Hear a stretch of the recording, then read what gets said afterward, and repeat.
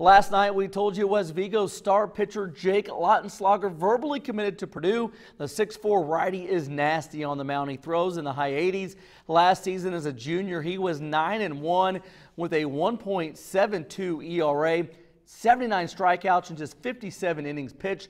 Lautenschlager received interest from several Division One schools, including Michigan, Navy, Ball State, and Indiana State.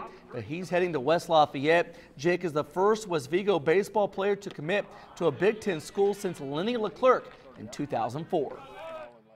I'm very excited to play in the Big Ten. Uh, it's one of the best conferences in the nation getting the chance to play other big time schools is just a big dream of mine. Uh, I see a great program. Coach Wasikowski, it was his second season last year, and uh, he turned the team around. They placed second in the Big Ten, and I think that he can bring in lots of great talent to help us hopefully win a national title someday.